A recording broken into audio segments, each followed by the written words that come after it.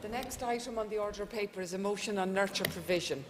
The Business Committee has agreed to allow up to one hour 30 minutes for this debate. As two amendments have been selected and are published on the Marshalled List, an additional 15 minutes has been added to the total time. The proposer of the motion will have 10 minutes to propose and 10 minutes to wind. The proposer of each amendment will have 10 minutes to propose and 5 minutes to wind. All other speakers will have 5 minutes. Before we begin, the House should note that the amendments are mutually exclusive, so if amendment number 1 is made, the question will not be put on amendment number 2. I will ask the clerk to read the motion that this Assembly welcomes the report by the Centre for Evidence and Social Innovation at Queen's University Belfast, entitled The Impact and Cost Effectiveness of Nurture Groups in Primary Schools in Northern Ireland, welcomes the commitment of the Minister of Education to continuing to fund the 32 nurture units across Northern Ireland and calls on the Minister of Education to examine potential options to mainstream nurture provision within the current education budget. Thank you. And I call Lord Morrow to move the motion. Thank you, Principal Deputy Speaker. I beg to move the motion standing in my name and that of my two colleagues. Uh, Madam Deputy Speaker, this Assembly is supposed to be based on the core principle of inclusion. The Assembly should reach out uh, to the citizens of Northern Ireland, particularly those who may be marginalised for a variety of reasons, such as those with social, emotional, financial and educational issues. We have to use our energy and efforts and resources to ensure that all the are included in the rich and varied fabric of our society. We have to remove any barriers to learning that may exist in our schools to ensure that all children are valued equally and given the opportunity to achieve their potential and contribute to our community. I should like to commend the staff of Queen's University for producing such an excellent report on the effectiveness and cost-effectiveness of nurture group provision in Northern Ireland. It would be difficult not to recommend funding for the implementation of nurture groups when one reads the report in detail and takes account of the views of those involved in the study. The challenge surely is that we have to search for funding from a variety of sources to provide the necessary funds to implement the nurture provision. In addition to reading the report, I took account of the views of teachers and others involved in providing and managing a nurture school or nurture room in a school. Short-term expenditure of approximately £50,000 per school, teacher and classroom assistant and resources that is, at an early stage to maximise the, an early intervention will yield dividends later while the child is at school and in some cases post-education at 16 years of age. The cost-effective figures are included in the report and merit careful consideration and study.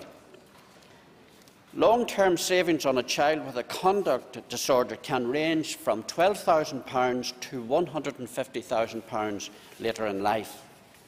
A stitch in time not only saves public funds, but also gives a child and a family hope for the future. I feel the real test, of course, of any provision is what do those who are tasked with using it or implementing it and those who benefit from it. The following are a brief summary of comments by teachers involved in a nurture room.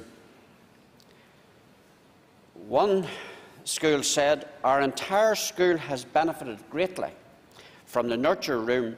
We can see improved attendance and confidence among the ch children. Furthermore, children who return from the nurture room to their class on a full time are more settled to learn and can cope better with classwork. Furthermore, it was said there are better relationships between the nurture children and their peers. Children in the nurture room have more time to work their emotions in a small group and work at their own pace. They are then equipped to use these strategies when they return to class. As a school, there has been a significant strengthening of relationships between staff and parents, especially those parents who might have initially been reluctant to approach staff. Furthermore, the nurture approach has been fully embraced by the entire school community. Children are accepted at their level of understanding and development. Staff take a flexible approach to dealing with behaviour. They look at the needs of the child rather than react. The school works to build up the confidence of parents, encourage them and reassure them that they are doing all they can. Another comment was the nurture room itself is accessible to all children, can be used for children who are having trouble settling in the, in the settling in the mornings or who just need a quiet time space for a time. Other older children would benefit from the nurture room and should be included. And it goes on. The nurture room intervention also has reduced the amount of referrals made to the behavioural team. The nurture room small group settings also help staff to more closely identify the children's needs, emotional, educational and social. So, Madam Deputy Speaker, those are the quotes from some of the principals and some of the schools that uh, we have taken into consideration. And I think everyone will agree that they're all exceptionally positive and they send out a good message because those who are working at the coal face, as the saying is, see the direct benefits and see how it has benefited the school, the child and indeed parents. Consider the impact and benefits a nurture room could have on children with emotional and social problems who may be disruptive and upsetting for the entire class, and the additional work and stress placed on teachers and the worry and anxiety of parents at the prospect of their child being suspended from school. I commend this report to the Assembly and recommend that funds should be found from a variety of sources to mainstream nurture provision to schools. The benefits are clearly outlined in the report, and it is essential that we, the members of this Assembly, do all that we can to include all the children who may be marginalised.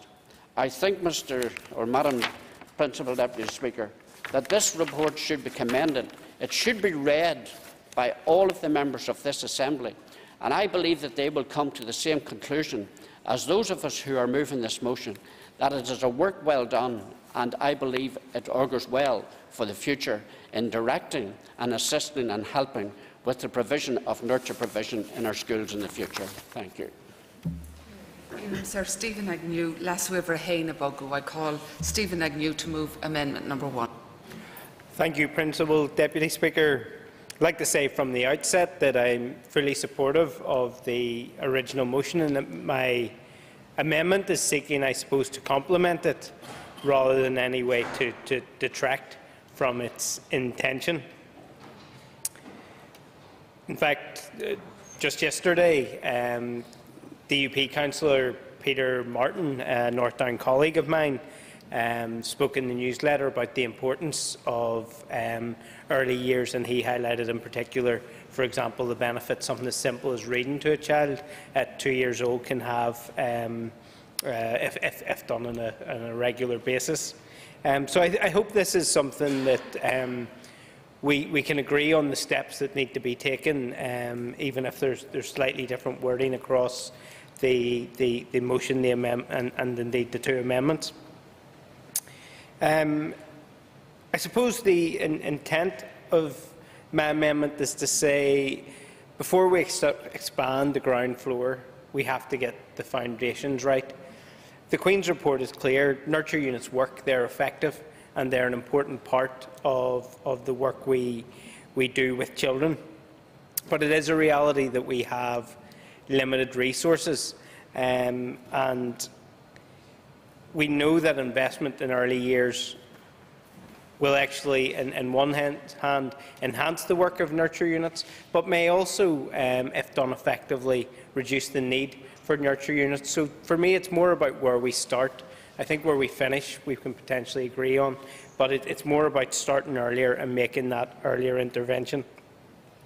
As my colleague Clare Bailey put it when we were discussing this motion, um, we should be getting children ready for school before they start school um, rather than, uh, as we're sometimes doing, trying to, to help them catch up um, when they're starting school uh, behind their peers.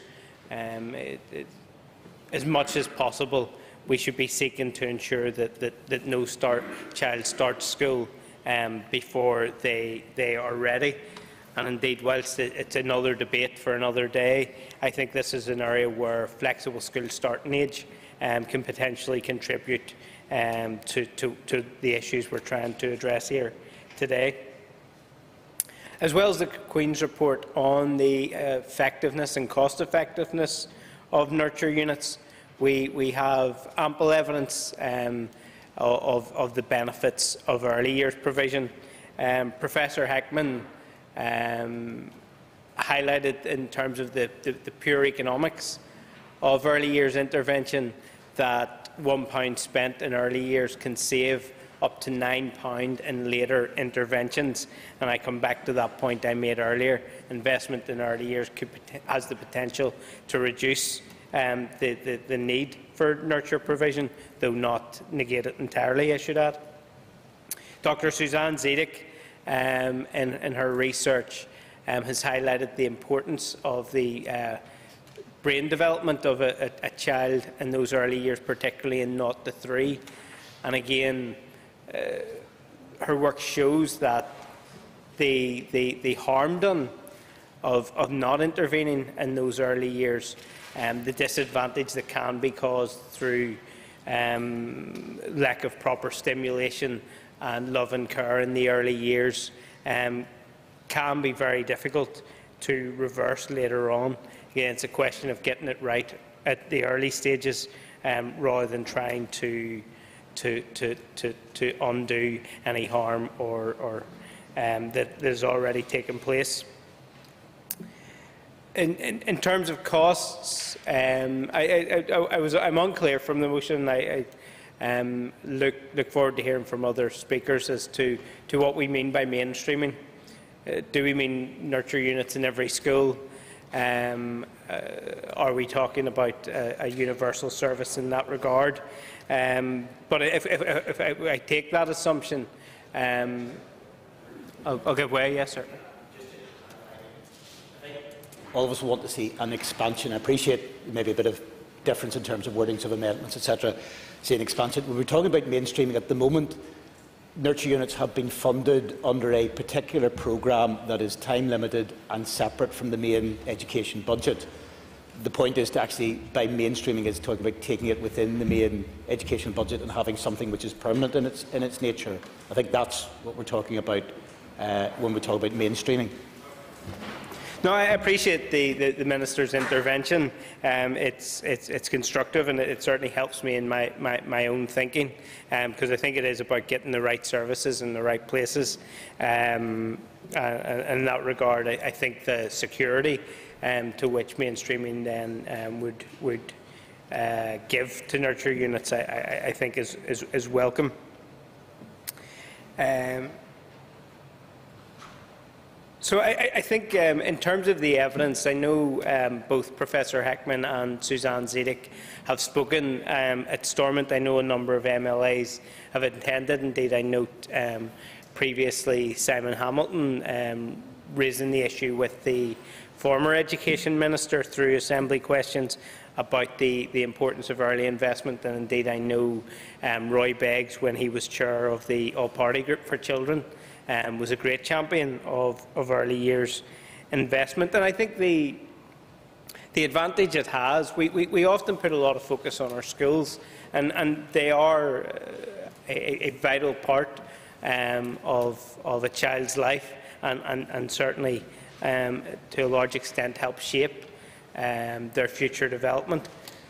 But I think sometimes we put too much emphasis on what uh, schools can do. Somehow they're required to do everything, and we forget almost about the child outside of the school. And I, I think early years is about not just supporting that educational development, but supporting the child within the context of the family and the family within the context of the community. And I'll, I'll give way, sure. I thank the member for giving way. Uh, would the member agree that quite often the children who uh, find themselves in these nurture units, the reason being is that the family unit has in some way broken down or that, that they're not getting adequate provision outside of the school setting and that to all intents and purposes the school setting is actually one of the better places to give that security to those children. Uh, would the member agree?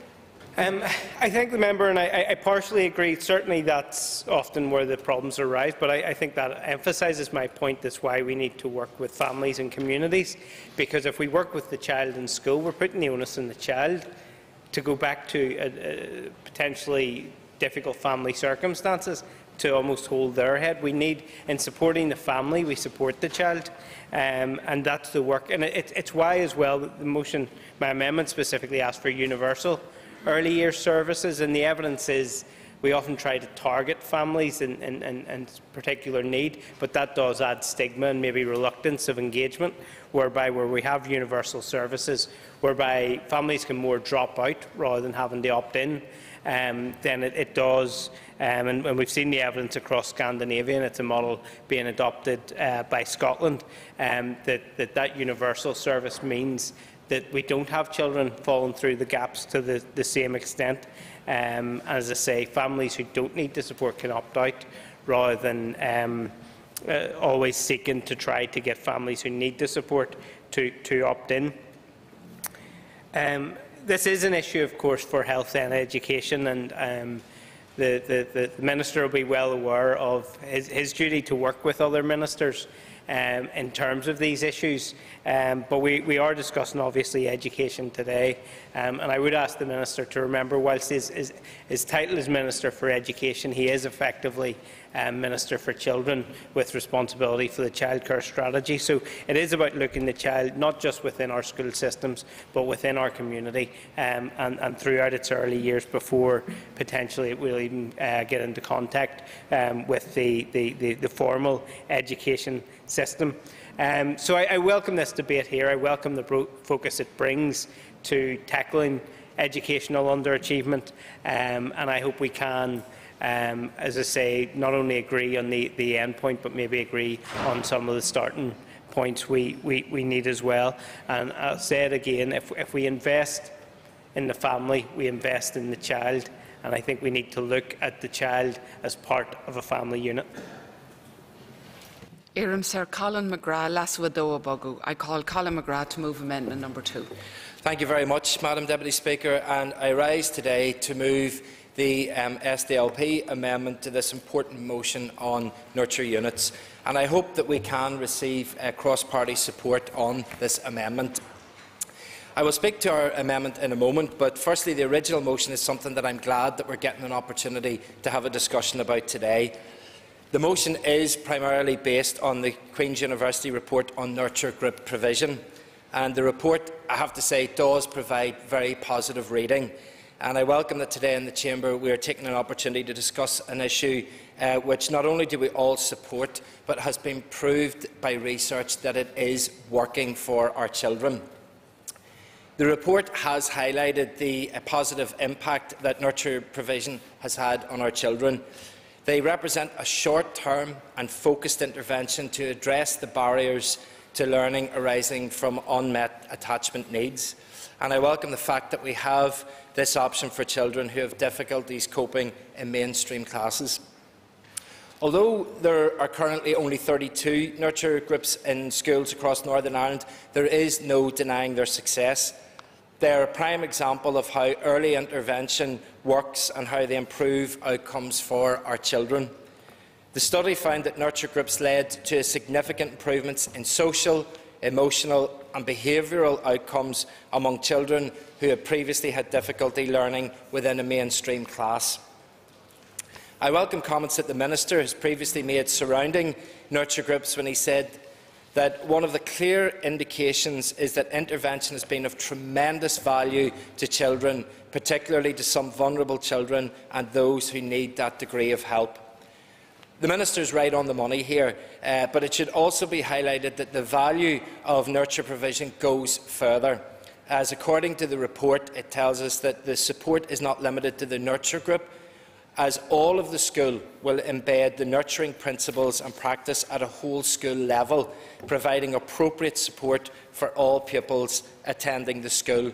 So there are repercussions from having these units within schools that spreads around the whole school environment and providing a, a cascading effect uh, of the benefit. Madam Deputy Speaker, I also welcome the findings in the report which state that nurture groups are cost effective costing around £70,000 per school and have the potential to result in significant savings further down the education system. And let's not ignore the correlation between underachievement and other elements of society further down the line. A small investment at school age could provide a greater saving to society many years later. Now, moving to our uh, amendment, it has two strands. The first part of our amendment comes directly from recommendation 10 in the Queen's University report. It states that the importance of providing a consistent funding framework to ensure that schools are able to develop nurture group provision and plan effectively. The original motion mentions the need to examine potential options to mainstream nurture provision within the current education budget. However, we believe that the funding model for nurture units should be sustainable to ensure their long-term viability. We have seen the benefits that these nurture units have given to us, but currently the nurture groups only cover 32 schools, and we want to see this widened. Uh, the only way that we feel that this can be done is to ensure that there is a sustainable funding model that is put in place. The second part of our amendment calls on the Minister to plan for the further expansion of nurture unit provision in each primary school sector. Now, we have seen and heard examples of funding not being given to certain sectors. For example, when he was Minister, Minister O'Dowd announced funding for a pilot for nurture units for schools in the Irish medium uh, sector. And then Minister Weir said that due to funding pressures he could not provide funding for the pilot at the same time. The Queen's report recommends that until further research is available on the effectiveness of the different models of delivery, provision should continue to be targeted towards the most deprived areas, and that should be regardless of the sector that it comes from.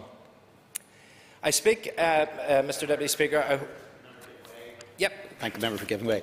Obviously, to put on the record, yes, there was indications given at that stage that there wasn't funding. There was additional funding provided by uh, the Department of Finance in relation to those schools are actually funded as part of that present, so it does cross the various sectors on, on that basis. I thank the Minister for his intervention and I think what we're talking about here is the planned intervention across all of the sectors and that whenever it becomes reactionary due to budgetary um, uh, pressures that we don't go and rob money out of particular sectors but we keep it right across. I wholeheartedly agree with the recommendation from Queen's that research should be undertaken to ensure that there are models for the delivery of uh, nurture provision. But until this is done, we believe that it should be targeted at the areas of greatest need, because, Madam Deputy Speaker, if we're not giving our children the best start in life, then we are doing them an enormous disservice. What is great about the motion is that it extends to children uh, that need help the most the opportunity to avail of services that will aid their education. This Assembly should be about delivering for children in Northern Ireland and giving them a better start in life. And I would commend our amendment and the other amendments as well as the motion and feel that a start in this process may be given to our children. Thank you. Iram Sir Jennifer McCann. I call Jennifer McCann. Um, Can I um, also uh, welcome the opportunity to take part in this important debate today. It's obviously the second debate around education, and it's very good to see, you know, that given the, the contributions so far, that, that, you know, the motions are seem to be, you know, uh, knitting, together almost. So I want to say at the outset we have no, um, we support the motion, and we have no difficulty with either of the amendments as well.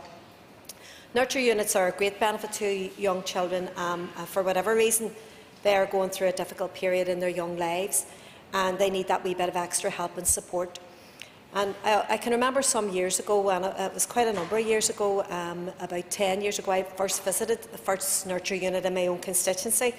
And the setting there um, actually surprised me because it was very similar to a home environment. Um, and the children that were at that unit were receiving one-to-one -one help with teachers and staff, um, classroom assistants.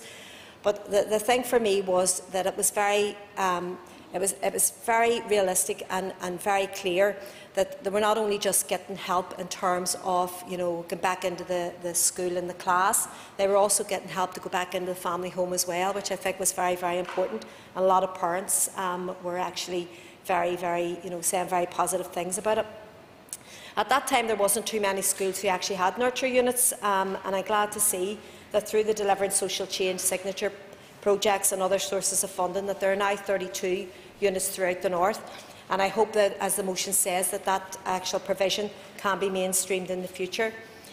Um, uh, everybody, you know, I mean, has to commend the great work that the staff and the teachers do with the young children in the units. And talking to um, the, the teachers and staff, you know, very often our children have to face real, real um, big challenges in their lives that no child really should have to face, but you know, it can have an impact on their emotional well-being and can affect their personal development and, of course, their education. And that's what these nurture units are, are tended to do. You know, they're, they're, they're give the, the child that bit of support and that bit of help to go back into the, the main class again. The time that's taken by teachers and staff to help a vulnerable child through that difficult period with one-to-one -one support not only helps the child, as I said, but can be also beneficial to parents and indeed a whole uh, family setting.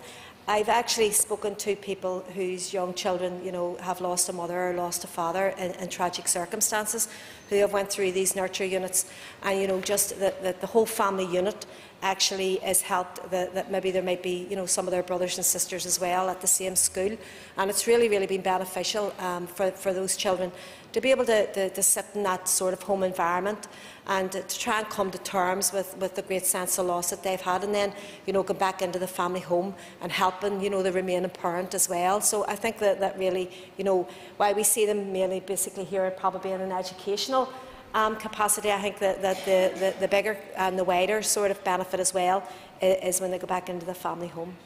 Early intervention programmes, such as services provided by Nurture Provision, are known to work, as all the evidence points to them working, and indeed the other speakers have mentioned the evaluation carried out by Queen's University.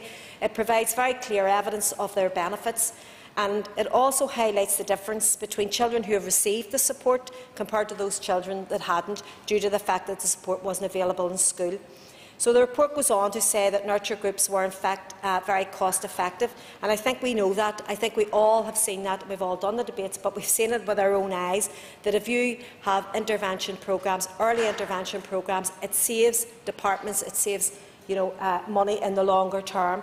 Because when you invest early in young children in particular, and you invest early in supporting families, you will see those long-term benefits um, uh, through the years in terms of all sorts of issues, in terms of education, in terms of health, and indeed in terms of all the social and family issues that, that, that come up as well. We've had many debates over the years in this chamber where it was very clear that intervening um, early in a child's life when a vulnerability or difficulty is identified, it can have that long-term impact on their lifetime opportunities. And nurture groups provide a short-term and focused intervention for children experiencing difficulties within the class for a number of reasons, and it also provides that link, as I said, between home life and school, which helps them settle into class again. So I think that, that most people, and particularly um, uh, want to say that people from deprived communities, or people from maybe a, a family that maybe have particular social and emotional um, difficulties or indeed financial difficulties. For me, they are the children that benefit um, quite a lot from these nurture provisions and I want to support the motion. Thank you. I call Sandra Overend. Thank you, Principal Deputy Speaker, and I thank the proposers of the motion for bringing it to the floor of the House. Uh, and as Ulster Unionists' education spokesperson, I appreciate the opportunity to participate in this debate. Nurture units have become a widespread feature of education provision across the UK, uh, with an estimated 1,500 currently in operation. This is a targeted programme, as members have already said, aimed at pupils who, for a variety of reasons, have difficulties in mainstream classes who fail to engage in the learning process and who may otherwise be at risk of underachievement. Early intervention is always the most valuable, and since nurture units usually target pupils in Key Stage 1, they have an impact at an early stage of a child's development. Taking pupils out of their mainstream class setting, usually for between two to four terms, and then return them to their mainstream class on a full-time basis. The primary aim of nurture groups in Northern Ireland has been to improve the social, emotional and behavioural skills of children from deprived areas exhibiting significant difficulties. The evaluation by Queen's University Belfast found that nurture groups provision was highly successful in meeting this aim. It's always great to hear that investment in our children is actually having an impact, and that is not something to be taken lightly. As with all things, there is, of course, a price tag for nurture groups, and under the current framework, that sits at around £70,000 per school involved. However, the cost effectiveness of the nurture provision programmes is well documented in the report and shows the real value that can be placed upon early intervention, not just in monetary terms, but in the life of the child and their progression through primary education into post-primary school and beyond. Teachers saw improvements in punctuality, increased attendance and significant reductions in social, emotional and behavioural difficulties. And children themselves felt more involved in their classes and were beginning to find school more enjoyable too. While nurture groups are widespread in the UK, it is, it is still in its infancy and there are still aspects of the scheme that could be improved. For example, some evidence showed that greater progress was being made by those not eligible for free school meals than those who were. It would be interesting to understand why this was the case. The original criteria for the allocation of signature pro project funding targeted schools with an above average proportion of pupils eligible for free school meals, so it would be concerning if those children were less likely to receive the benefits of the project. Perhaps adaptations can be made to ensure maximum effect in the future, and I would urge the Education Minister to consider further research in that area. Principal Deputy Speaker, I'm sure you'll be interested to hear that a new nurture room is being officially opened this Friday in Castledawson Primary School in my constituency in Mid Ulster. It received no additional funding from the Department of Education, but the Principal and Board of Governors there obviously felt the need to invest in training of teachers for such a part-time provision at their school. It is available to children on Mondays and Fridays, and, it is, and its aim is to support the social, emotional and behavioural aspect of children in need in P3 to P5. They can aim the provision where it is needed the most and for as long as necessary. This flexibility works for Castledawson Primary School, and they are receiving very positive feedback. There were limits to the research carried out by Queen's University Belfast, and they themselves recommended further research involving a proper randomised controlled trial design and further research with the larger sample size into the effects of the different models of provision. The evaluation report from the Education and Training Inspectorate published in February of this year also had additional recommendations for improvement, many of which could be explored. For these reasons, we will be supporting the amendment from the SDLP, as I do not believe that nurture groups, as they are currently delivered, could be described as a finished product, not to use a consumerism term. I believe, therefore, that the amendment from the SDLP gives a better way forward and can allow for mainstreaming once a clearer way forward has been established. I would also highly commend the amendment brought by Steven Agnew, MLA, and I thank him for bringing it. However, I might urge him to bring this amendment as a motion in its own right. Uh, we could uh, maybe support it at that stage. In my opinion, the mainstreaming of nurture units and examining the potential of universal early years edu education provision are not mutually exclusive. Indeed, their combination would be a comprehensive support system to children across the UK.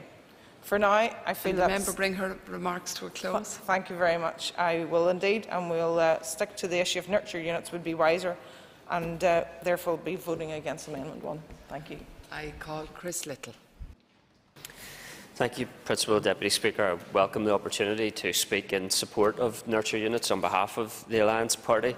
This short-term focused intervention for children with particular social, emotional and behavioural difficulties in small groups of six to ten children, uh, usually from years one to three, led by a teacher and classroom assistant uh, across around 32 schools in Northern Ireland, is having a positive impact on pupils, staff and parents, and of course across the wider school community.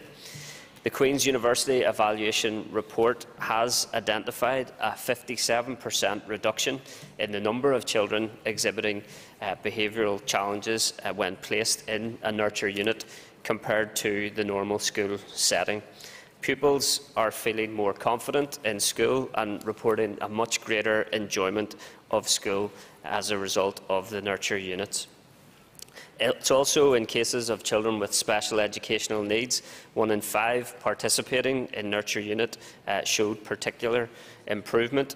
Uh, and the Queen's report has found uh, that not only uh, are the Nurture Units beneficial for children, but also cost effective it has found that it will cost at least twice as much to provide a pupil uh, with behavioural difficulties with just one of the many additional resources available between years 3 to 12 as it would to address those needs through early intervention nurture unit provision in years 1 to 3.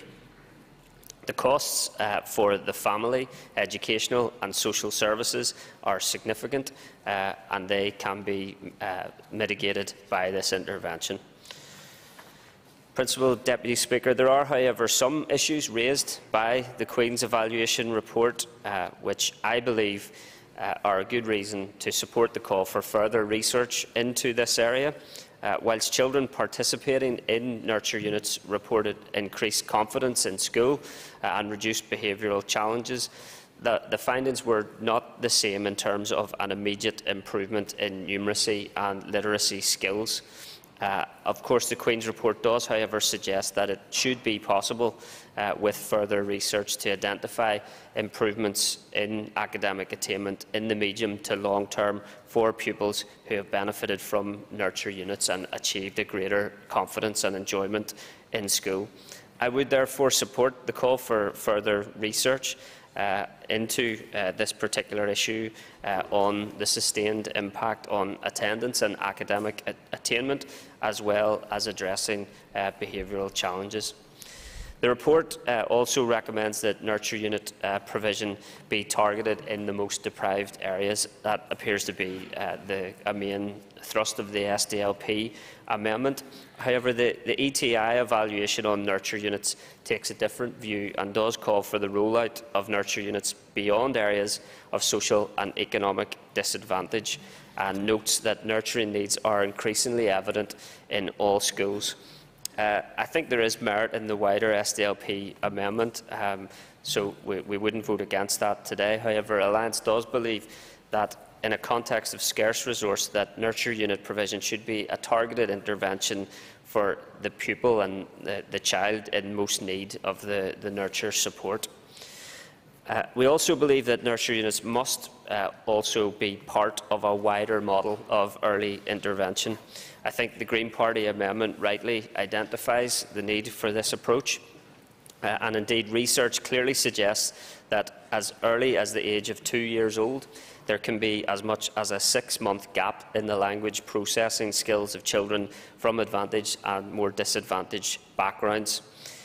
The ETI Chief Inspector's report in 2014 also identified the importance of investment in early years health, early years childcare and early years education to uh, achieving school readiness amongst our, our children uh, and achievement, particularly for those in disadvantaged backgrounds.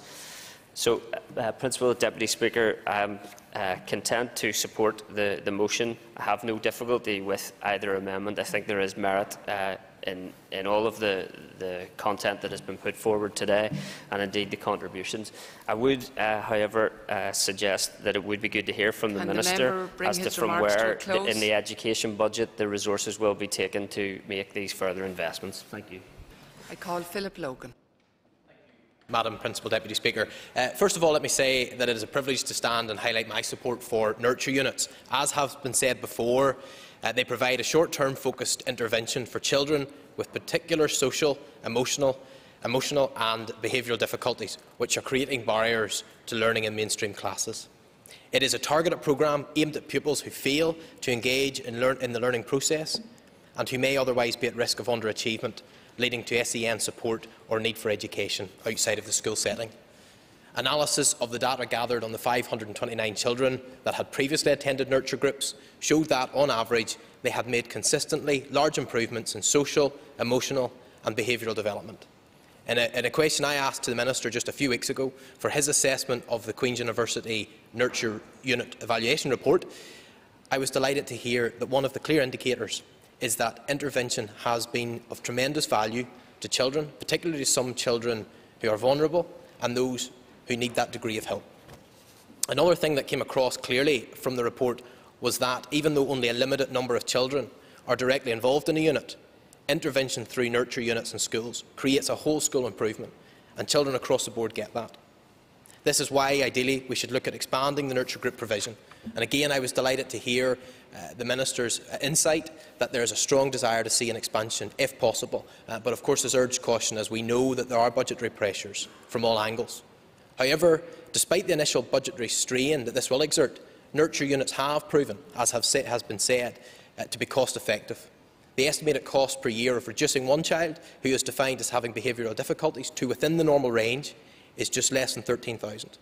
In particular, the cost of a pupil with behavioural difficulties being provided with just one of the many additional resources during their school term uh, between year 3 and 12 will cost the education system at least twice as much as it would have by addressing those difficulties uh, through effective nurture group provision uh, before the start of year 3 and considerably higher than this if the child has to avail of alternative full-time education provision and or a special school, attend a special school. Existing evidence suggests that investment in nurture group provision is likely to pay for itself just after two years and is therefore cost-effective and represents a significant economic return to society and the benefits that it brings to that child and that child's family. The schools that were most effective at nurturing had a clearly defined positive but firm approach to the way in which they spoke to pupils, gave them clear boundaries, praised them for their efforts and achievements, ensured that they made academic progress, and worked with their parents, uh, who is of course a child's first educator. They saw each pupil as an individual and dealt with them as such. Each individual is different, their own circumstances and their own difficulties. The nurture groups gave parents practical support, and I think that's very important, including strategies that they could use at home with their children parents felt more confident about being able to help their children, and they valued the nurture groups more highly. As, as, Chris Lyttle has pointed out, there are some concerns that in certain nurture groups, literacy and numeracy targets were not achieved, and that is something that I hope will continue to develop. But, and, and let's be clear, a child that is more well-rounded emotionally, behaviourally and socially will be more willing to, to dedicate themselves uh, to learning in school. Thank you, Madam Principal Deputy Speaker. Iram Sir Barry McElduff. I call Barry McElduff. Uh, Thank you, Principal Deputy Speaker. I just want to say from a party political perspective that uh, the Sinn Féin position is that we will be supporting the motion as amended by the SDLP in this matter. Um, in my capacity as uh, Chair of the Education Committee, I want to make a few remarks about our interest as a statutory committee in this matter to date. Uh, Nurture is a focused school-based intervention, usually in primaries, designed to address barriers to learning arising from unmet attachment needs.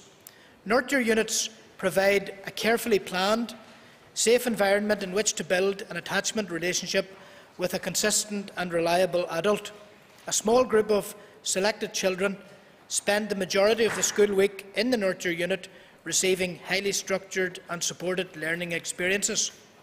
Our committee saw some evidence of this or something similar in action in a visit to a special school recently where normal social interactions, for example eating breakfast, are structured and used to support learning and engagement, structured to positive effect. Anecdotal feedback and the Queen's University report suggest the nurture approach has a very positive behavioural benefit on children, and nurture would therefore appear to sit well with other early intervention measures. The Queen's University study seems to show that around one-fifth of participating pupils moved down the SEN register, i.e. their special educational needs seem to improve as a consequence of nurture. And nurture is also cost effective. The cost per child appears to be around £13,000 per annum. This is contrasted with average costs of provision of support under a SEN statement of £10,000 per annum in primary and £7,000 per annum in post-primary. And that might suggest that a more elaborate study is needed uh, to be carried out to establish if schools which have nurture units have fewer SEN statements. Our committee would also like to put on record uh, support for mainstreaming of nurture, but we may also want to see what impact it has on the overall level of SEND statementing in schools. And with that, I'll bring my contribution to a close. I call Rosemary Barton. Thank you very much, Madam Deputy Speaker. I do not think there's anyone in this House that cannot disagree that our children should be given the best start in life. And indeed, the findings of Queen's University report clearly support the value of nurture groups as an effective intervention strategy. But the most important part of this motion is the final clause. It is imperative that ways to utilise the best practice of these nurture groups is identified and put into action in schools throughout Northern Ireland. All counties have areas that could benefit from nurture groups. The principles that underpin all this work should include equal opportunity for all schools and that schools are able to adapt to the needs for all our children, be they suffering from a difficult home life, have special educational needs or are gifted children who need stretching. A nurture group typically caters for very young school children who have social, behavioural or emotional needs greater than the norm. Without specialist care, they can have a negative school experience and indeed make school life more difficult for their peers and for their teachers. Effective nurture systems can help ease the child into mainstream schooling, equip them for school life and allow them to play a full role in their school. As with so many of the issues we discuss, identifying and addressing them as early as possible is the key to achieving optimal outcomes for the children, their parents and society as a whole. While nurture groups here are traditionally attached to primary schools, in other parts of the UK, more and more post-primary schools are setting up nurture groups as pupils are increasingly presenting to these schools at an emotional and socially different departmental stage. Recent, recent re research shows that after formative years, the other major time restriction on the brain is the teenage years. Many principals today recognise the importance of how emotional well-being underpins learning and has a significant impact not only on attendance and behaviour, but also on academic achievement. Research also indicates that these nurture groups can have a whole school effect, where not only do children in the nurture group improve, but so do the children, other children with similar issues throughout the school. It is clear then that nurture groups can make a substantial difference to the lives of the children who have the opportunity to be part of one. They improve behaviour, improve performance, improve outcomes for the children. But there are only 32 nurture groups in Northern Ireland and approximately 800 primary schools. Resources are not infinite, but the lessons of the nurture groups can be learned by all who are interested in the education of our children. The findings of the benefits of these small group situations for children supports how working in smaller groups can be so beneficial and it has been proven that behaviour associated with engagement with the curriculum improve. The children settle quicker to work in the classroom and have gained ability to work collaboratively with other pupils. Madam Deputy Speaker, in supporting the motion, I urge that consideration is given to the scheme being extended to post-primary schools and that mainstream nurture provision is provided across the province. Thank you. Iram Sir Catherine Seeley. I call Catherine Seeley. Thank you, Principal Deputy Speaker, and I thank the DUP for bringing this motion to the House, a motion we are happy to support. A recent Irish News report detailed the 529 children that are making consistently large improvements in social, emotional and behavioural development thanks to their inclusion in nurture provision. That alone is testament to the importance of continuing investment into nurture groups. The Queen's University of Belfast report on the effectiveness and cost effectiveness of nurture group provision in the North accredits nurture groups with developing emotional literacy and resilience. It details how nurture groups are designed to enhance children's opportunities so as they can interact in a more positive way, have increased self-awareness and also enables both the classroom assistant and the teacher to devise activities suited to the needs of individual children.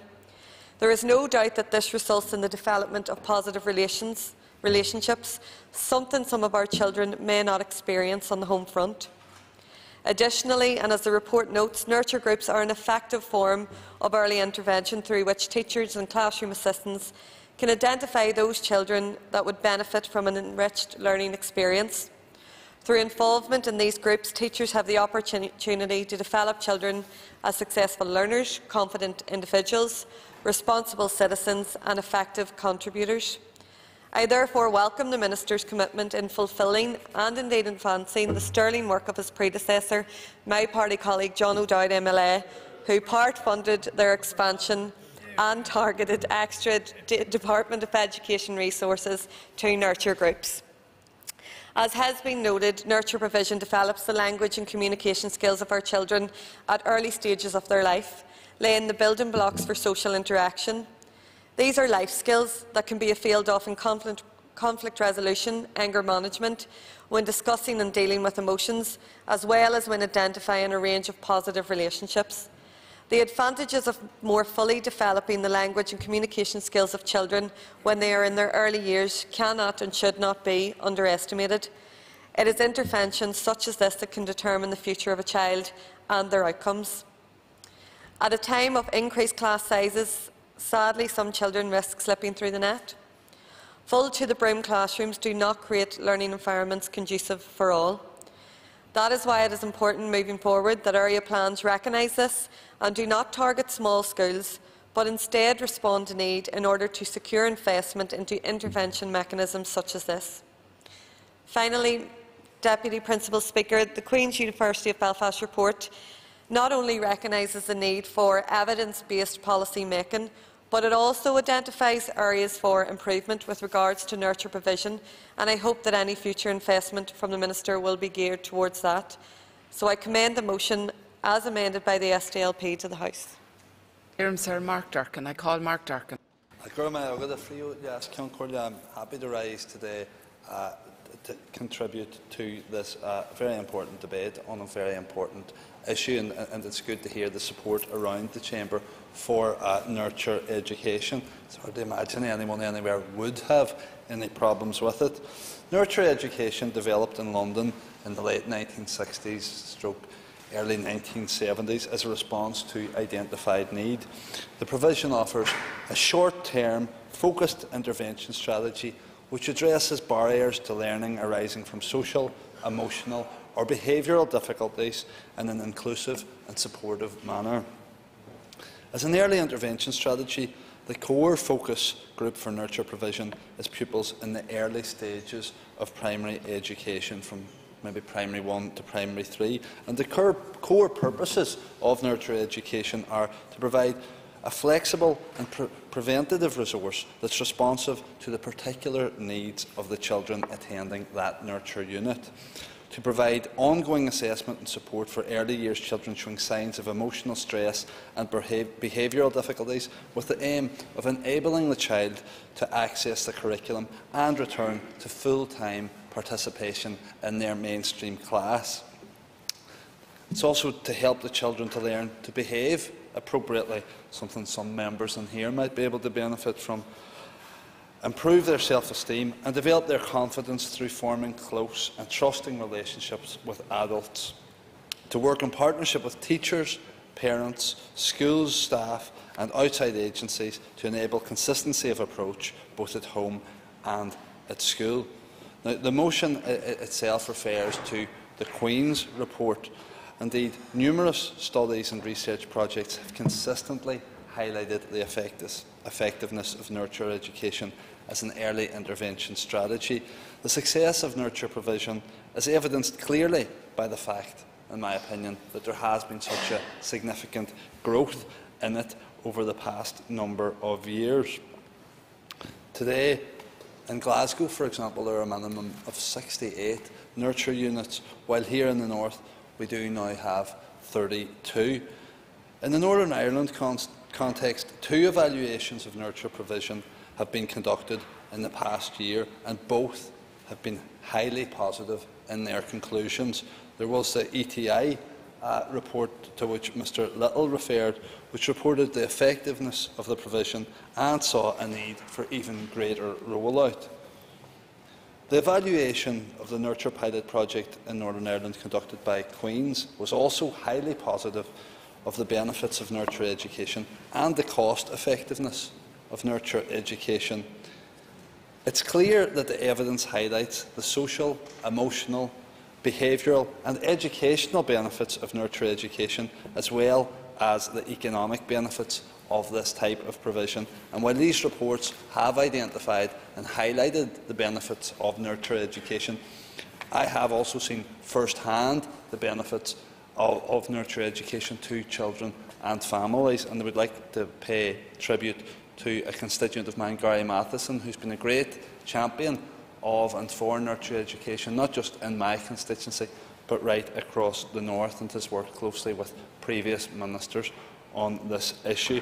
I have to also, suppose, commend work of previous ministers on this issue, and, and have no doubt that the current minister will work with ministers across the executive to progress this, because this is bigger than an education uh, issue.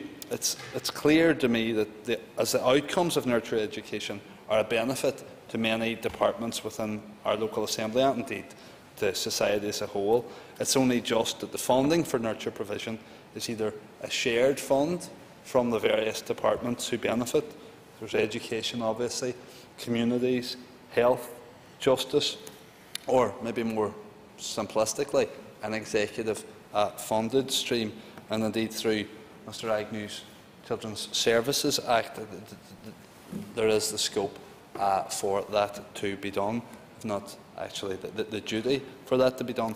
In our fragmented education system, it's important that all sectors do have access to nurture provision within their sector so that no child Can or family member bring his comments to a close? are required to leave that sector to access provision. My colleague referred to the Irish medium sector, but it's also my understanding that currently there's no nurture provision in the integrated sector. Maybe the Minister will address that. The member's time is up. The business Order. Uh, members, we now return to the debate on uh, nurture provision, and I call Mr Jim Allister. Thank you, Deputy Speaker. Um, unaccustomed as I am to commending government projects, I do have to say that uh, my experience uh, and uh, of the Nurture project is very positive. And uh, I think that it has been a most successful, where it has been allowed to operate, in reaching out to those in greatest need. In my constituency, we sadly only have the one nurture project at Harryville Primary School. Uh, we have some adjacent ones. Uh, we have a, a, very successful one at Ballycraigie Primary School, and there's, there's quite a good one in Harpur's Hill and Coleraine. Uh, but it does seem that these projects have been successful in inducing within the kids that they reach better behaviour, uh, in inducing a more interest in school, and some may be coming from a background where that is not overly encouraged, and indeed interesting them in, in the joys of education through improving their reading capacity and all of those things. So the pilot schemes that have taken place, from what I hear of them, appear to have been quite good. And I think I'm relying almost more on the anecdotal evidence I hear from my constituents than from the very positive report from Queen's University. One of the criticisms is, of course, uh, and it's not to do with the delivery of the project and those who deliver it, one of the criticisms has been the drip feed nature of the funding. that because it was delivered under social change and the Department of Education was really just the conduit for passing on the money, they had to wait for the release of the money from uh, OFM, DFM, as it then was, and then they passed it on. And that drip feed, I think, is the core problem in terms of going forward with this project and putting it on a stable footing. And we're not talking about a lot of money. When you think that the commitment to each uh, nurture unit, I think, was of the order of £70,000, uh, when you think of multiples of that which are often spent with little apparent effect, it seems to me to be giving a good return uh, for the spend. And it's not that hard to establish. It needs obviously a facility, a room, uh, kitted out. It needs a teacher, it probably needs a classroom assistant. But after that, its demands are relatively modest. Uh, and therefore, I would be very supportive of the idea of expanding within the mainstream that provision. I, I think that can only be positive, because one of the most distressing and, and saddening things for anyone who has any relationship with education is to see kids pass through the system knowing that they're not taking the best out of it, knowing maybe they're not being encouraged from home and elsewhere to take the best out of it, and not achieving their full potential, and in fact becoming alienated from the education system. Whereas education should be the door to the world uh, for all of us, uh, and it is through us. It is through, by going through that door and experiencing it that we move on to greater things and make a really worthwhile contribution to society. So, trying to capture a, a sector of our kids who are lagging behind can only be a good thing. And therefore, I encourage the Minister to be bold in terms of advancing this scheme and in mainstreaming the funding so that it has certainty uh, and can progress uh, to attain the ends in even greater form to what it has already attained. Thank you. I call the uh, Minister of Education, Mr Peter Weir, to respond. Mr uh, Minister, you will have 15 minutes. Okay, thank you.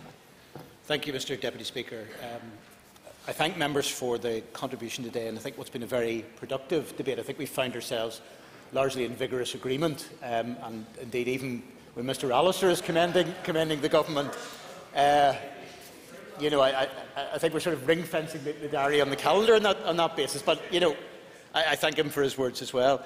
I, have taken a keen interest in nurture since my days on the, the Education Committee. It's always been an issue, I think, which members have recognised as an effective means of supporting our most vulnerable children. Indeed, um, since before I came to office, in fact, just before I came to office, whenever uh, I visited a primary school in Slate Street in West Belfast, uh, through Rathcoole Primary and last week I had the opportunity to be at Harryville Primary uh, where they, there's been, I think a total there's been, in Northern Ireland, a total seven Boxall Awards, which is more or less the national award for nurture.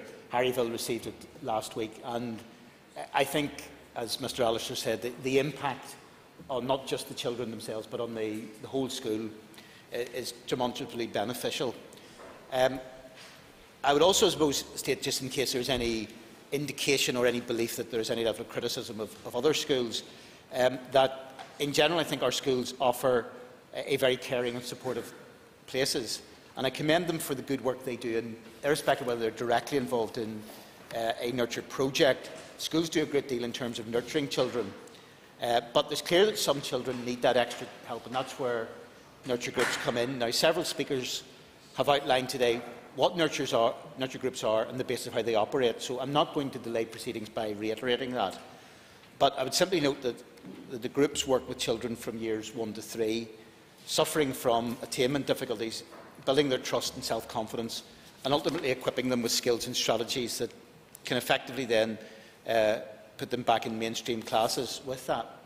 And the reason I think that why children need nurture are varied, uh, but in every case, um, they're often sort of unaddressed. Uh, these can lead to barriers to learning and long-term uh, achievement.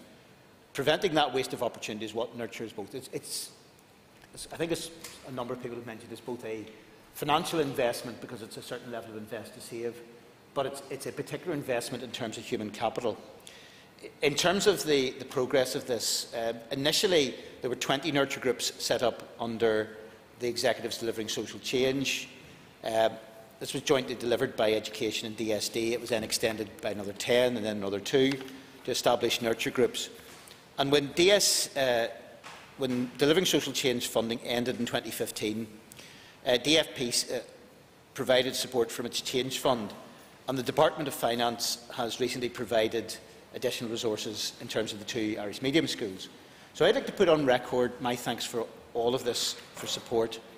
Um, while these sort of uh, efforts precede the, the Children's Services Cooperation Act, I think they exemplify its intent. The departments should work together to deliver for children.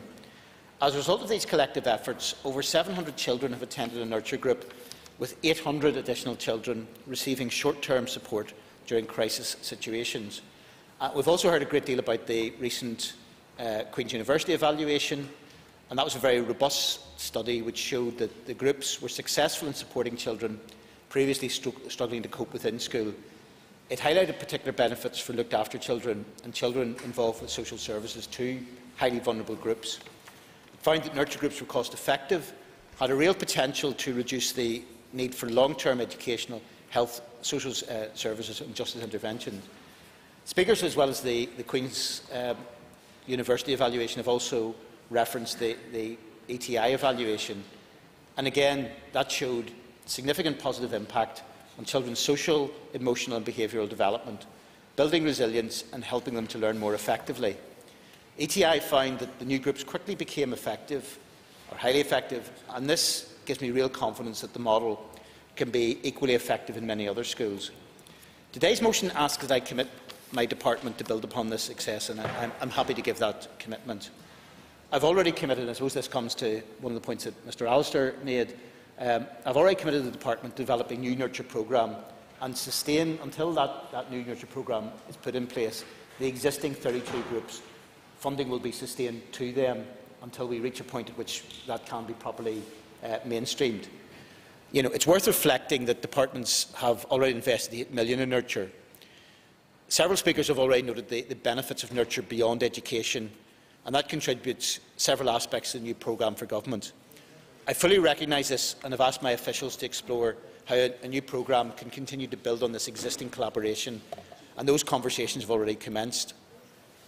The costs of nurture are not insignificant. Um, sustaining the 32 groups will cost the department around about 2.3 million. Uh, now, there will be challenges to the budget, but I will stand over my commitment to those 32 groups.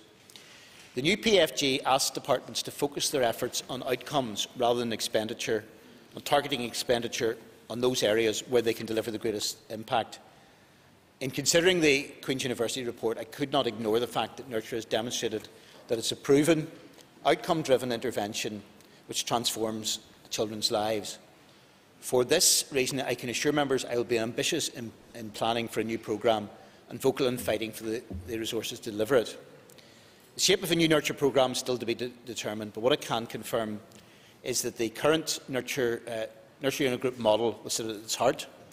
Where a nurture group is viable and sustainable, this model of delivery provides the best possible outcomes. Now, I don't think anybody can pretend that we can fund every school wishing to have a nurture group, and I know and I appreciate uh, Mrs Barton raised the issue about post-primary. I suppose if we were to mainstream uh, in all the thousand schools, I think that would probably cost about an extra 70 million. So, you know, evaluation is, has recommended that we should continue to target provision to schools with the greatest need. While no future selection criteria has been agreed, I want to make sure that they're based on comprehensive, objective and up-to-date data. And naturally, I'll have regard to all department statutory duties. Several speakers commented on the need to extend the reach of nurture provision as broadly as possible. And clearly, um, one of the things that, that struck me very much from visiting the schools was that it wasn't just an issue of the, the children who were directly involved, but that the nurture model created a, a whole school model. And I think that will be also part of any future programme. Yes, I'll happy to give way. Sir, for giving way, and uh, I welcome the fact that he visited uh, my constituency in Harryville along with us last week, and uh, I was proud to be the person who opened the Harryville Nurture Unit uh, a number of years ago. But on that very point, will he ensure that nurture, and, and I pay tribute to his officials, one of who is in the House today, who has worked extremely hard in relation to this issue, about making sure that nurture is, becomes mainstream in the school and not something that's just looked upon as an isolated class and an isolated classroom. To be fair, in it, the schools that have embraced nurture have taken very much that attitude. And the thing is about mainstreaming within, I mean, there's an issue about mainstreaming within the budget. There's also an issue about mainstreaming within uh, the schools. I mean, I was reflecting that there's quite a commonality of approach. They have, for instance, sort of a quiet room, uh, which may not be a bad idea that we could actually adopt instalments uh, at times. Uh, yeah, on that sort of thing. Well, I'll not ask if the member himself was, was intending to, to, do that. Um, but I suppose returning to that, I mean, the, their, the projects themselves receive specialist support that resource in future will be extended to any school wanting to consider a whole school nurturing approach. It's, it is also not simply about the schools that we provide the direct support for in terms of funding, but also ensuring that the experience is, is rolled out. And that will enable whatever constraints are there, the benefits of nurture to be uh, benefited much more widely.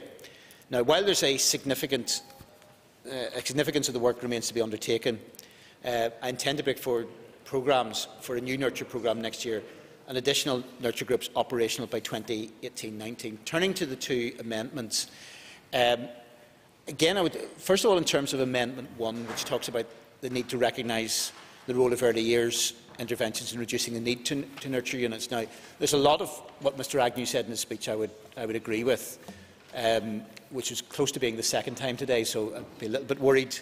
Whether that should worry him more than me, I don't know. What I would say is I do have some concerns over the wording of his amendment. I think the point I think was made, um, I can't remember who made the, the point earlier on, suggesting that if there was a separate motion dealing with early years intervention, that may be the better way directly of, of dealing with it. Um, and I suppose from that point of view, because I, I do very much recognise the issue of the importance of, of early intervention, I think is very important. I think one of the problems, though, is to tie in directly that with some belief that, that this will lead to a reduction in terms of the need for nurture units. I, I think it's probably the wrong approach. And I think there isn't quite the same level of, of nexus within that. Now, we do have, I suppose, in terms of universal provision, there is universal provision within the uh, issues around preschool admissions process, where we've got about 99.8%. But I appreciate the point that's being made, that particularly as regards um, some families that could most benefit from it, we need to ensure that that is, is there for them. Uh, what I would simply say is that um, while wider nurture provision can only be helpful in adding to this mix of services, nurture groups uh, are an important intervention in their own right. And as I said, I think it's maybe not ideal to tie the two together on that basis. We're also left with a situation in terms of the two amendments um, both have very worthy intentions. They are mutually exclusive.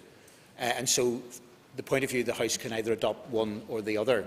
Uh, from that point of view, I think that um, the Amendment 2, standing name as members of the SDLP, uh, I think sort of is very much in, in, the spirit of the original motion. It very much uh, follows the same uh, routes as the direction of travel that I would like to, to go in. And so I, I'm very happy to support Amendment 2. In conclusion of this debate, I welcome this debate and I think all the positive contributions we've heard and reflect uh, members' comments as I develop my plans. I, mean, I suspect that we may not be, uh, given the amount of agreement around the Chamber, this may not be an issue which is necessarily leading the news tonight or tomorrow morning's um, uh, radio programmes on that basis. Maybe actually society is a little bit worse, worse for that.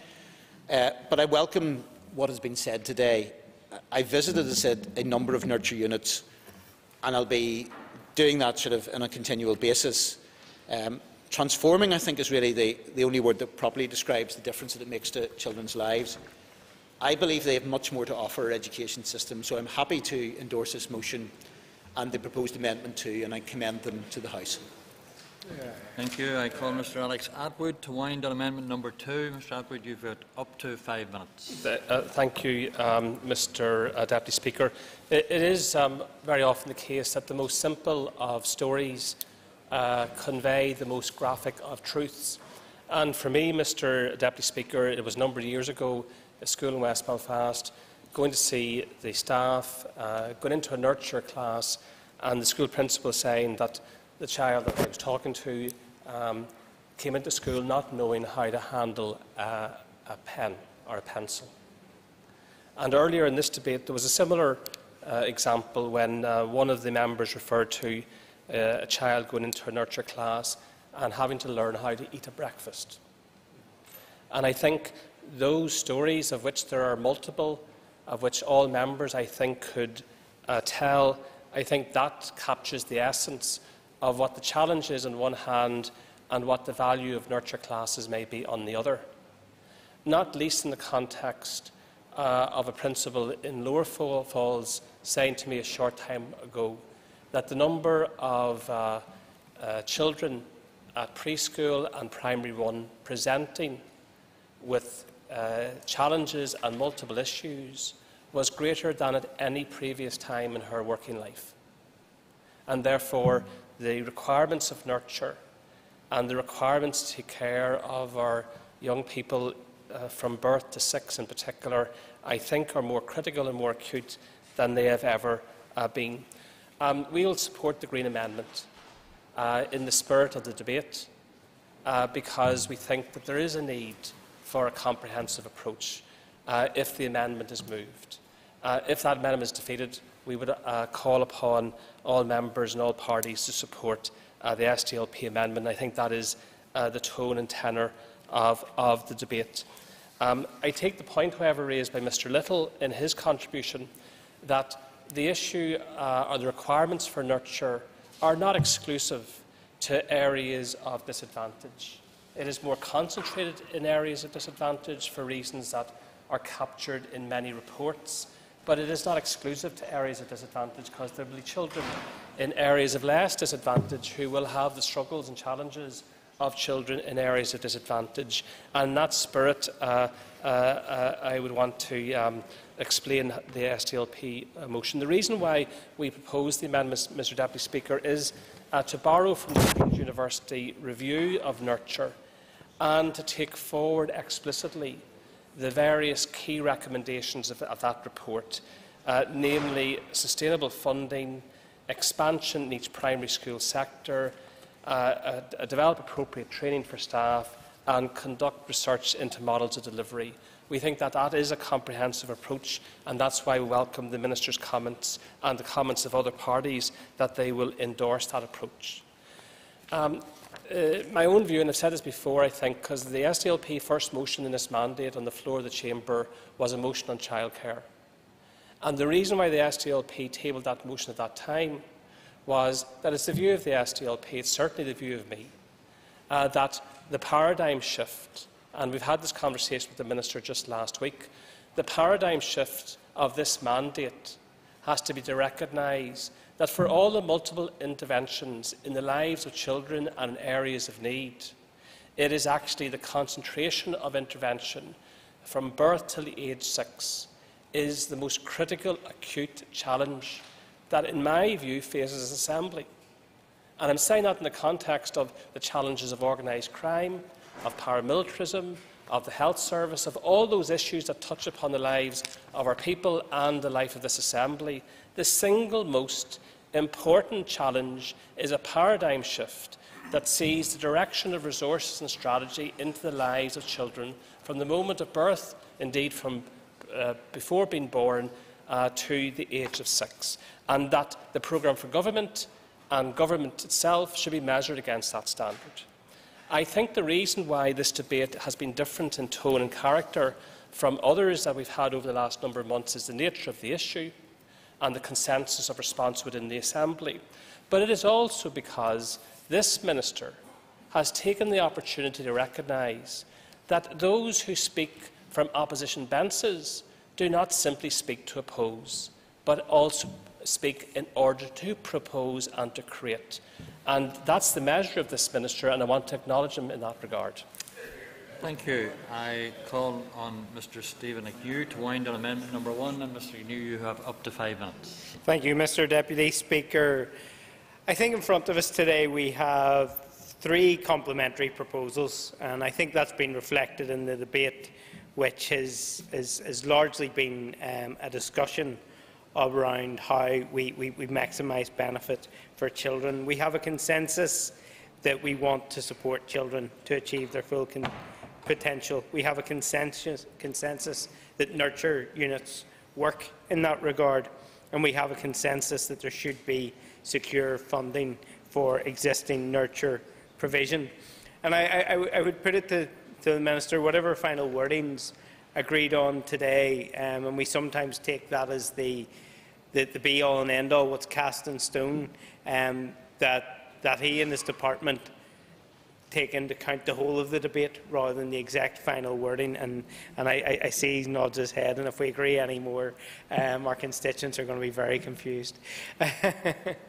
but uh, but I, I, think, and I think that does show that actually here we are taking an evidence-based report. We have the evidence from Queen's University. We have the evidence um, around early years that I mentioned from Professor Heckman, from Dr. Suzanne Zeedyk and others. Absolutely. I also accept that we have the evidence for a long period of time when in places such as Ballysally in Coleraine uh, Nurture was working successfully, uh, Holy Family in Londonderry, where it was working successfully. But it took the department a long time to recognise the value. Now we have this report and we have a minister who's being proactive on this particular issue. I, I, I, thank the, I thank the member for his intervention, and I, I take his point that, that evidence doesn't lead to quick change, and that's certainly the point I would make about early years and why I keep at every opportunity um, making the points and making the arguments, uh, as Mr Atwood just did, that it is the single um, most important intervention we, we, we, can make, because whilst we have that evidence and whilst um, the Minister has a, a, seemingly agreed to, to take into account the, the, the wider aspects of this debate, uh, we haven't seen that paradigm shift towards funding towards early years. And I appreciate that you can't simply overnight say we're going to stop uh, funding these services for children and young people in later life because the evidence is the benefit is earlier. That has to be a, um, a managed transition, um, but I think it's one that every opportunity when we call for additional funding or where we, we receive additional funding. I, I, I, think recently to the debate around potentially 18 million that was proposed for PE um, to tackle obesity, I think we do have to take those opportunities to invest in not the six and to follow the evidence and to make those impacts. So in, in the spirit of today's um, debate, I, I, will not push my, my amendment to a division um, I appreciate the SDLP magnanimously proposing to support it, but I, I, think we haven't had a divisive debate, um, and I don't think we should have a divisive outcome. Um, I, am happy, as was suggested, to bring forward a, a motion specifically on early years, and I would simply ask that either I be empowered by the Business Committee to bring that forward, or that another party um, uh, bring that forward um, in, in, conjunction with, with the Green Party. Um, I think we're, we, we, we, should take consensus where we have it, we should build on it, um, and, and to even hear Mr Allister, um, my, my honourable colleague, um, give credit to, to the government. When we reach that level of consensus, I think we should bank it. I call Carla uh, Lockhart uh, to wind on the uh, motion and to wind up the debate on the substantive motion, and you have up to 10 minutes. Thank you, Mr Deputy Speaker, and can I thank uh, the members of this House who have participated in the debate today. I think it has been uh, a momentous occasion for this House in terms of the level of agreement.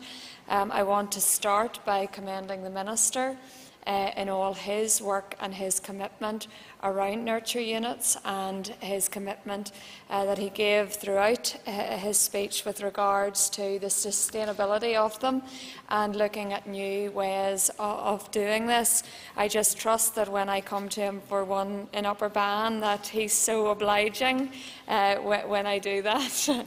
Uh, but I think it has been, I think it has been a good debate. Um, I think uh, we have been very clearly educated around uh, nurture units.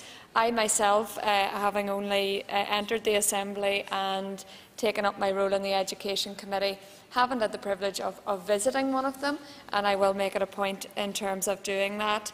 Um, there is no question that these nurture units help develop uh, these children uh, and young people who avail of them.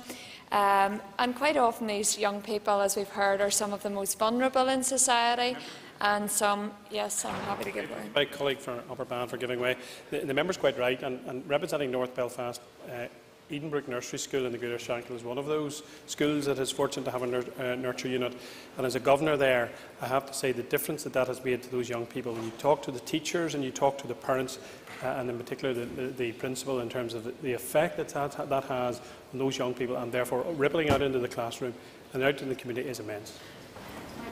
And I thank the member for uh, his contribution, and, and, maybe that's the one I'll visit if, if, if you're willing to uh, accommodate.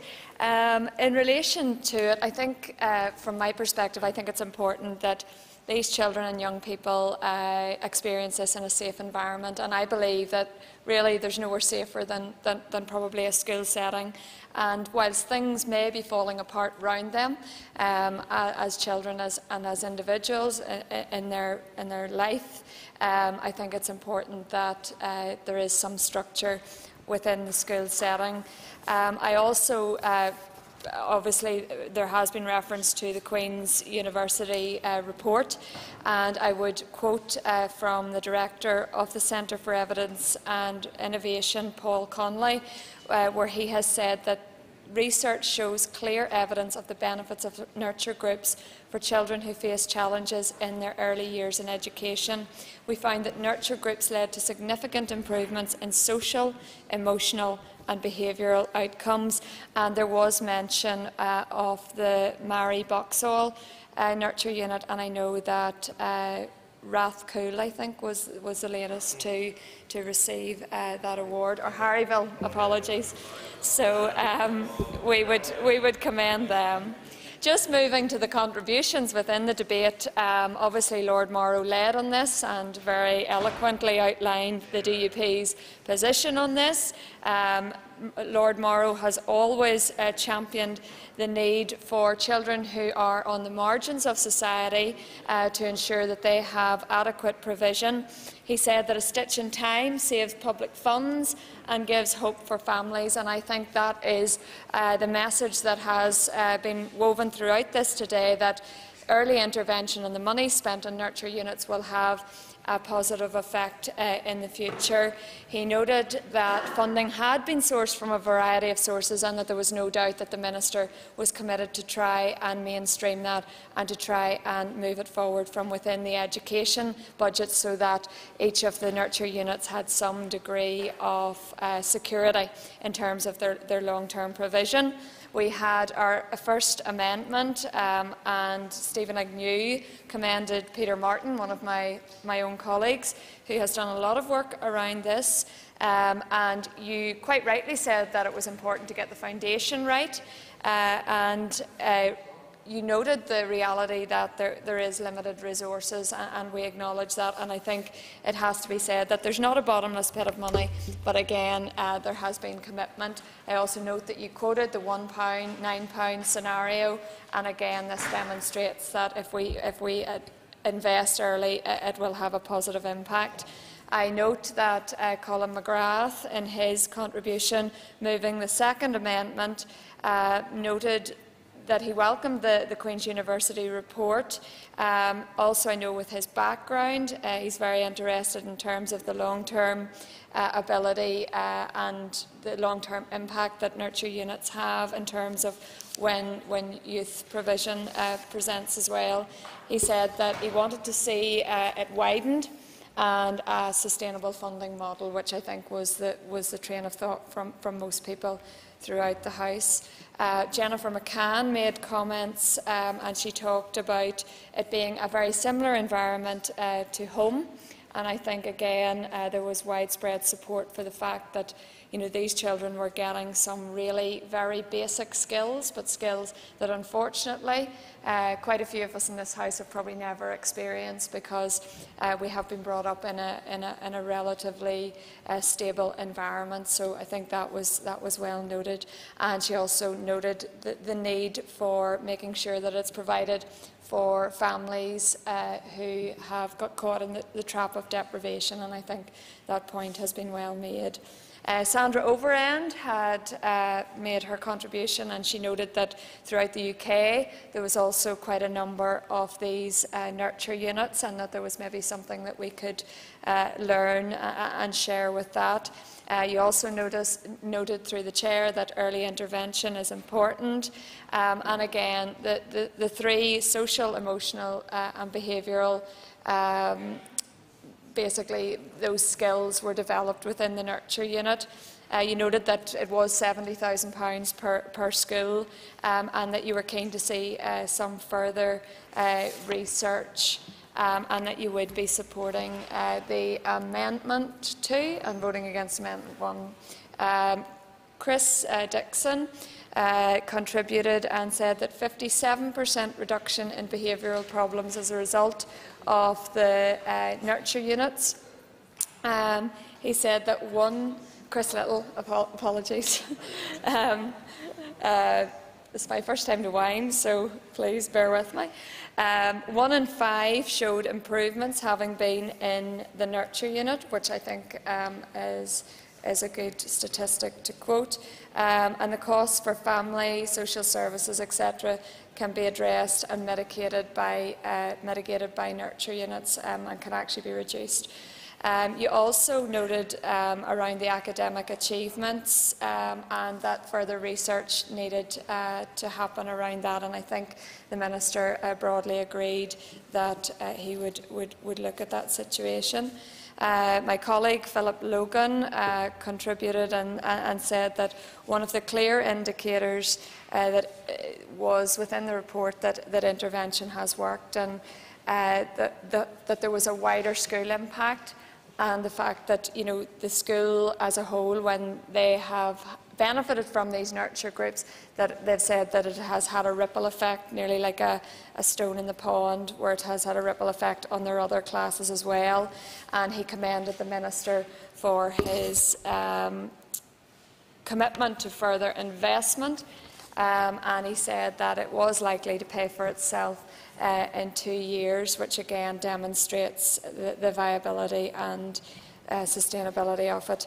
Uh, Barry McElduff um, spoke as Education Chair and he said that nurture uh, sits well with other early uh, interventions, and I think that's very true. I don't think nurture in itself is the silver bullet to, uh, to deal with all of the problems that will uh, occur in a young person's life, but I do believe that it, uh, that it has, um, has its place and that nurture was very, very cost uh, effective.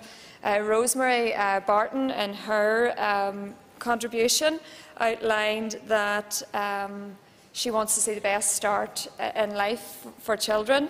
Um, she wanted uh, it rolled out in all areas throughout the country and in all schools and to look towards post-primary. Um, I certainly take Mrs Barton's comments on board, but I would uh, say that you know we have to look at the sustainability and the viability of it, and I think the Minister made the point with regards to the amount of funding that it would take to have it in every school.